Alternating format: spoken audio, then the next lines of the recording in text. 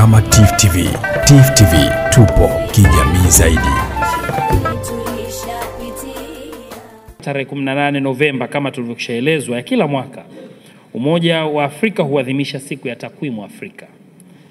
Lengo kuu la kuadhimisha siku hiyo ni kubadilishana mawazo pamoja na kuongeza ufahamu na takwimu rasmi wa takwimu rasmi, uzalishaji, usambazaji, ufikiaji na utumiaji wake kwa ajili ya kufanya maamuzi ya kuri, na kuripoti kulingana na ushahidi sahihi wa kitakwimu.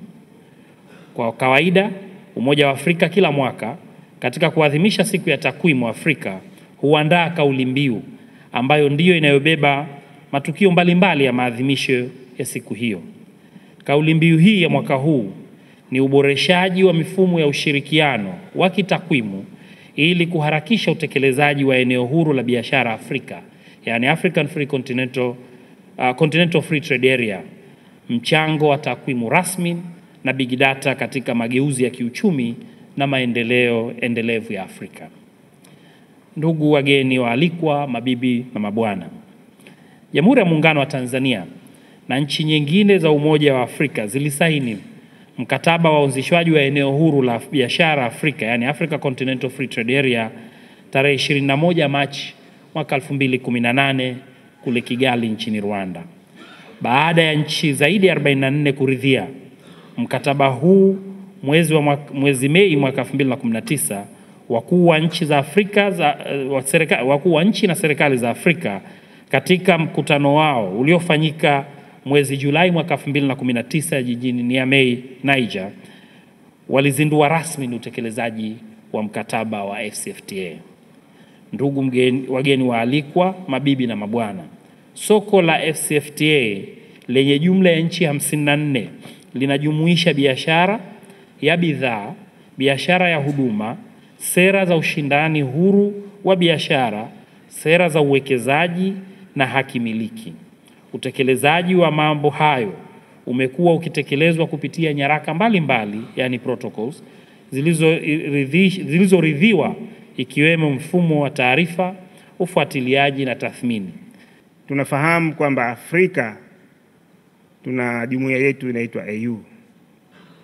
Viongozi wa kitaifa na serikali na mataifa waliamua kwa makusudi kwamba siku ya tarehe kumi na nane ya mwezi wa kumi na moja iwe ni siku ya takwimu Afrika, na wao kwa bahati nzuri waliiweka makusudi kwa ajili ya kuimarisha takwimu za Afrika. Kubwa zaidi ambalo linaendelea na hilo kwamba kila mwaka wanaeka kauli mbiu ya mwaka husika.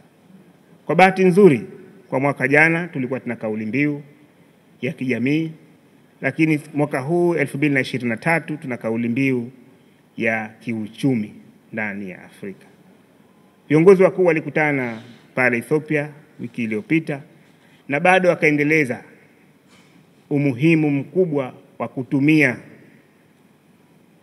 huu mkataba wa soko huru la Afrika utekelezwe haraka iwezekanavyo na big data katika soko, huru, soko, huru, soko huru la Afrika.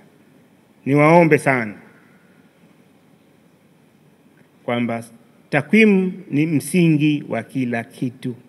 Ni kwamba lazima tushirikiane kwa ajili ya kupeleka takwimu na kufanya sera zilizokuwa muhimu, kwa sababu zile protocol tumesha design, nyingi zishasainiwa, bado nyingine ziko njiani, lakini sera zinatakiwa zilingane kwa takwimu zilivyo, ili maendeleo ya soko hili liwe liwe kubwa na wananchi waweze kutumia soko hili.